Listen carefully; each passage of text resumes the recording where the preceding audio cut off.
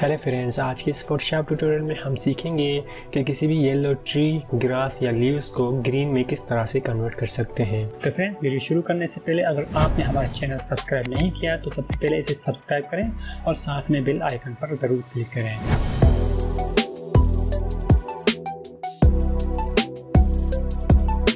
तो फ्रेंड्स ये मेरे पास तस्वीर है तो यहाँ से हम सबसे पहले एडजस्टमेंट लेयर में जाएँगे और यहाँ से हम सिलेक्ट करेंगे चैनल मिक्सर और यहाँ पर हमारे पास चैनल रेड सिलेक्ट है तो यहाँ पर हम इसका रेड हंड्रेड कर देते हैं और इसका ग्रीन हम माइनस हंड्रेड परसेंट कर देते हैं और इसका ब्लू हम हंड्रेड परसेंट कर देते हैं। और अब हम यहाँ से इसका ब्लेंडिंग मोड रखेंगे डार्कन तो यहाँ पर आप देख सकते हैं कि एक ही लेयर में हमारे पास ग्रीन में कन्वर्ट हो गया है। तो फ्रेंड्स इस तरह से आप किसी भी येलो लीव्स को ग्रीन लीव्स में कन्वर्ट कर सकते हैं।